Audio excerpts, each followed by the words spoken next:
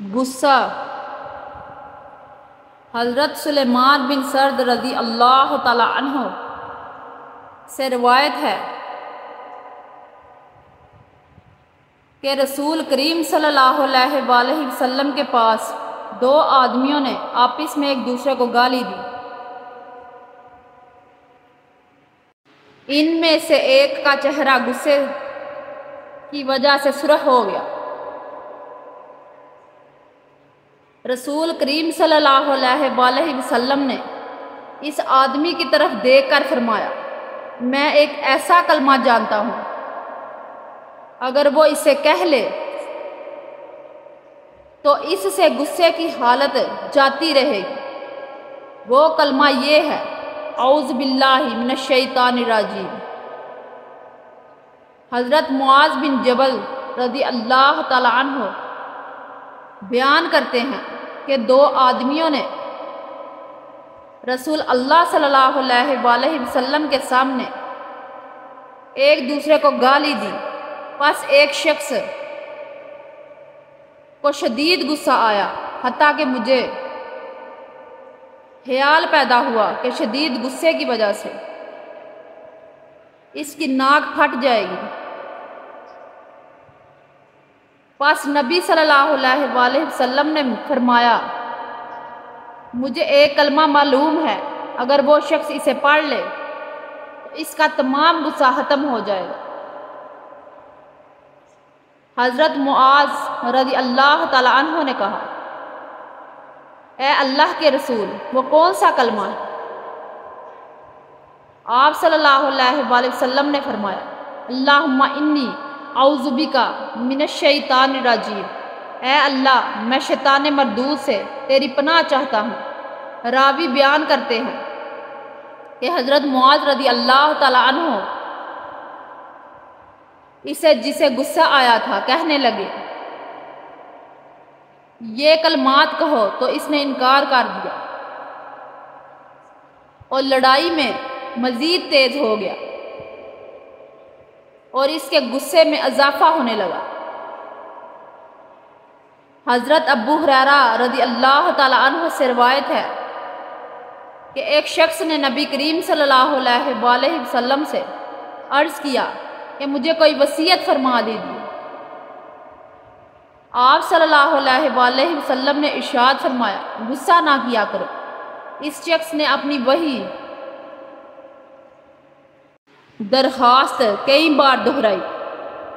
आप सल्लल्लाहु ने हर मरतबा यही इरशाद फरमाया, गुस्सा ना किया करो। हज़रत अबू हुरैरा रदी अल्लाह तु से रवायत है कि रसूल अल्लाह सल्लल्लाहु ने इरशाद फरमाया, ताकतवर वो नहीं है जो अपने मुकाबल को छाड़ दे, बल्कि ताकतवर वो है जो गुस्से की हालत में अपने आप पर काबू पा ले।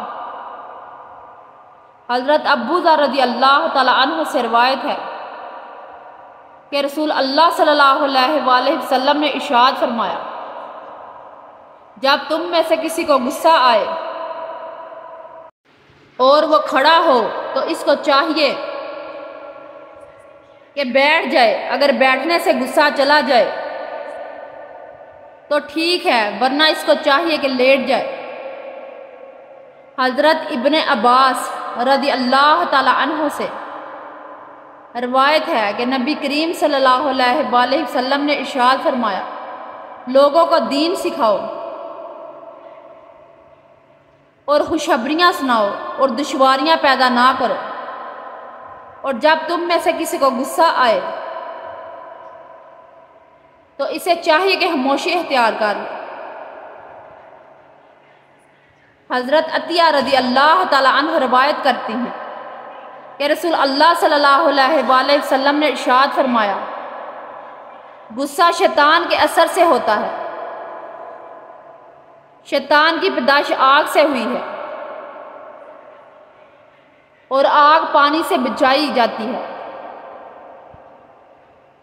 लिहाजा जब तुम में से किसी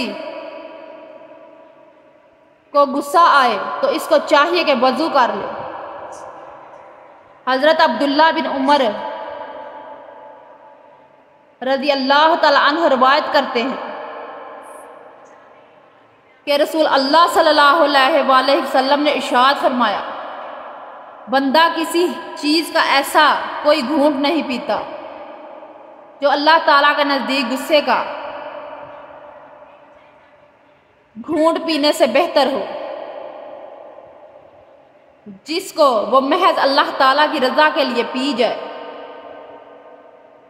हज़रत मुआज रज़ी अल्लाह तु से रवायत है कि रसूल अल्लाह सल्लल्लाहु अलैहि वसल्लम ने इशाद फरमाया, जो शख्स गुस्से को पी जाए,